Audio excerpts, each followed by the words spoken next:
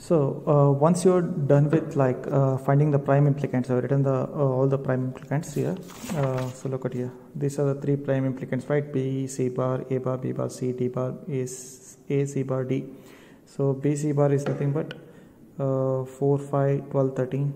Uh, then A, B bar, C, D bar is nothing but 0, 0, 1, 2. That is nothing but 2 and A, C bar, D is nothing but 4, 5, 12, 13. So these three things are written here like A bar, B bar, C, D bar 2, A, C bar, D 9, 13. So B, C bar like 4, 5, 12, 13. I have written this from the previous table. Okay, that's it. So this is prime implicants. We need to uh, find out essential prime implicants. Okay, so is this all these terms are much needed? So is a prime implicants or all of them are essential or can we uh, uh, delete some of the um, can we remove or can we eliminate or can we delete some terms from here? So the major intention is to reduce the expression size right? So this is prime implicant. So we need to term which are the most essential among these three okay?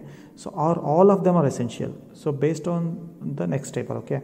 So i return the prime implicants the same thing a b bar the same three terms and same numbers as it is so I written uh, the columns like M2, M4, M5, M9, M12, M13. These are the uh, min terms 2, 4, uh, 5, 9, 12, 13, right?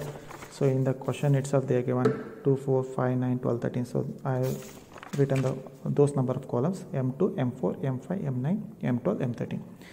So here we have 2. So I, I have put a right mark in the M2 here we have 9 comma 13 so i put a right mark in 9 column and 13 column.